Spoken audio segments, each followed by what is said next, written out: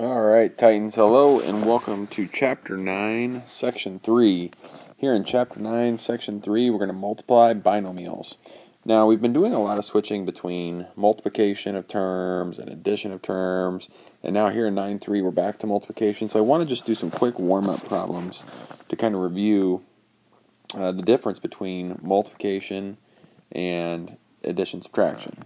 Uh, number one, what is 6z times 4z? Well, remember, when we're multiplying, we multiply the coefficients. 6 times 4 is 24. And z times z, we add the exponents. So we would get z squared. Another quick review warm-up problem here. Negative 2w times w plus 5. Here we would go ahead and simplify this by distributing. Negative 2w times w would be negative 2w squared. And negative 2w times 5 would be a negative 10w. Review problem number 3. 6q minus 9 minus 5q. Here we're subtracting. 6q minus 5q. Like terms, we can combine those. 6q minus 5q. When we're subtracting, we subtract the coefficients. The variable stays the same. So we would have 1q minus 9 and then we can't combine those. They're not like terms, so we just leave our answer as 1q minus 9. And then our last one today switches gears back to multiplication. 9x squared times 3x. If we multiply those two together, 9 times 3, multiply the coefficients, is 27. And x squared times x would give us x cubed. Remember, when we're multiplying, we add the exponents. So there's a lot going on here with multiplication and addition and switching back and forth. So I wanted to do these review problems just so everybody is clear on the rules that we have for multiplication and for addition and subtraction. Now let's go ahead and get into Chapter 9, Section 3. Alright, ladies and gentlemen, here in Chapter 9, Section 3, we're going to be multiplying binomials. 9.3, multiplying binomials. There's really three methods to do this. There's the double distributive method, or the double distributive property.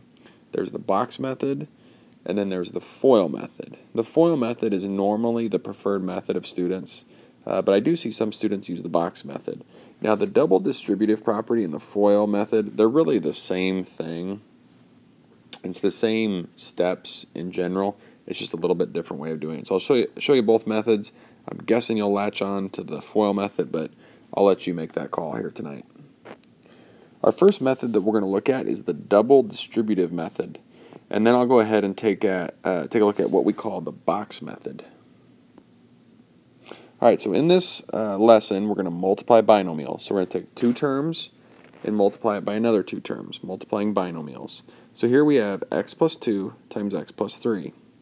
One way of simplifying this is to use what we call the double distributive method. And the double distributive method is is done just the way it sounds. You double distribute. So we take the first term and we distribute it into the second term. That's our first distribution. So x times x gives us x squared, and x times 3 gives us 3x, as you can see below. Then we distribute the 2. We take 2 times x and 2 times 3. 2 times x is 2x, 2 times 3 is 6. Now we're not done because this right here can be simplified. So to simplify it, we go ahead and combine like terms. The 3x and the 2x can combine to make 5x. So x plus 2 times x plus 3, after we double distribute, can be simplified down to being x squared plus 5x plus 6. That's our final solution. That's the double distributive method. Let's do one more example of the double distributive method. We have y plus 1 times y plus 4. So we go ahead and we take the first set of parentheses, the first binomial, and we distribute it into the second binomial. So we take y times y to get y squared. We take y times 4 to get 4y. Then we take the 1 and we also distribute it. We give it to the y, we give it to the 4. So 1 times y is 1y, 1 times 4 is 4. Then this can be further simplified because these two middle terms are like terms, so we can go ahead and combine them. 4y and 1y make 5y. So when we multiply these two binomials, we get y squared plus 5y plus 4. Alright, ladies and gentlemen, I'm going to go ahead and show you a second method to multiplying binomials. And the second method is the box method. Sometimes uh, we do have some students that choose this method. It's a fairly easy method, I believe. Uh, to me, as a teacher, this method is especially useful when you're multiplying a binomial, excuse me, a binomial times a trinomial, or if you're doing kind of different polynomials. Uh, it does work well with binomials. So let's go ahead and set up the box method for uh, 2x plus 3 times 3x plus 2. And here's the box method. You go ahead and draw a box. You put your first binomial on the top. And then you put your second binomial on the side. Then you go ahead and you complete this table just like you would a multiplication chart. You take 2x times 3x to get 6x squared. Then you take 3 times 3x to get 9x. Then you take 2x times 2 to get 4x. And you take 3 times 2 to get 6. So does everybody see how I just completed the multiplication there to fill out the box? Then you simplify what's inside the box. So we have 6x squared. We can't combine anything with that. And then 4x and 9x, we can combine those two to make 13x. And then we have that 6. So when you multiply 2x plus 3 times 3x plus 2 using the box method, that's what you get for a solution. 6x squared plus 13x plus 6. That's the box method. Let's do one more example of the box method here. Here we have x minus 5 and x squared plus 3x plus 4. So we have two terms times three terms. So I'm going to make a box that is 2 by 3. So I'm going to put x minus 5 on the side. And on the top, I'm going to put x squared plus 3x plus 4. Now, uh, putting it on the top or putting on the side, that's pretty much interchangeable. Um, not a big difference. You'll still get the same answer when you multiply just because in multiplication, as we've talked about throughout the year, order doesn't matter. So let's go ahead and multiply this through. x squared times x is x cubed. X squared times negative 5 is negative 5x squared. Uh, 3x times x is 3x squared. 3x times negative 5 is negative 15x. 4 times x is 4x. And 4 times negative 5 is negative 20. So now we've gone ahead and multiplied.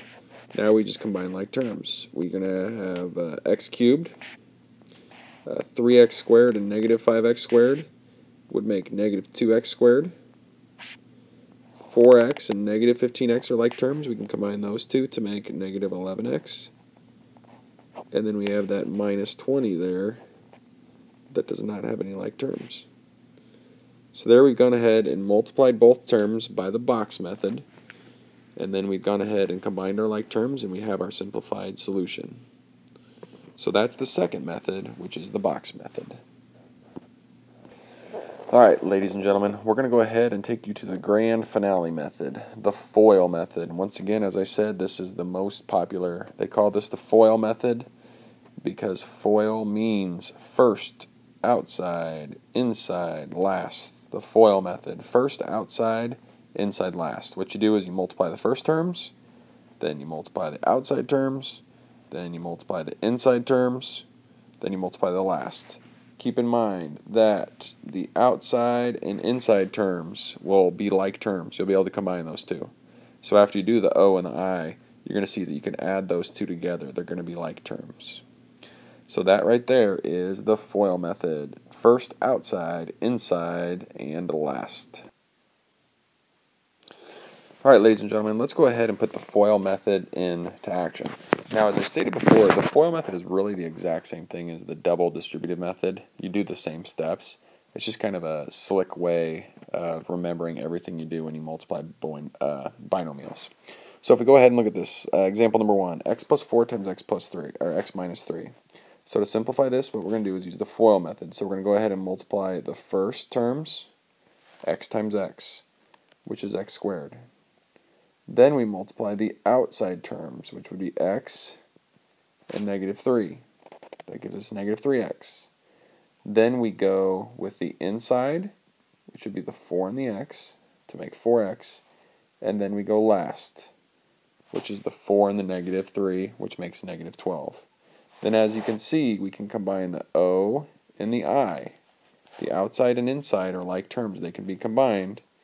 And then that simplifies for our final answer, which is x squared plus x minus 12. So you multiply the first terms, then the outside, then the inside, then the last. So it's F-O-I-L. Multiply the first, outside, inside, last. Let's look at example 2. Multiply the first,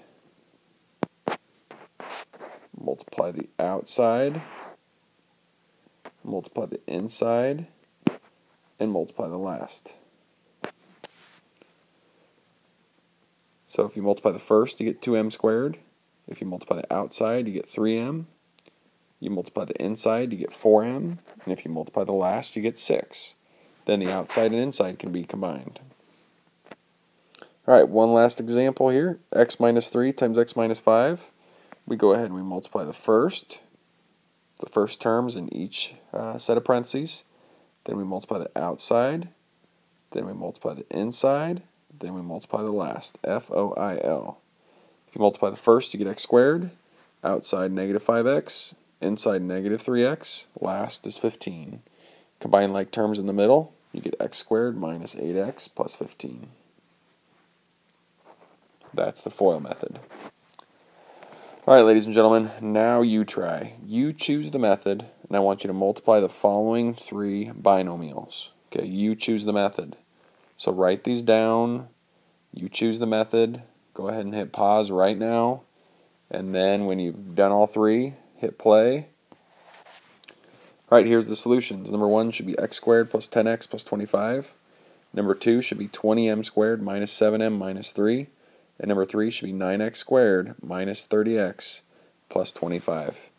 Hopefully this video helped you understand multiplying binomials. Uh, hopefully you can come ready to class uh, tomorrow to practice this skill and uh, we'll add a little bit more detail to it. Thanks for your time tonight.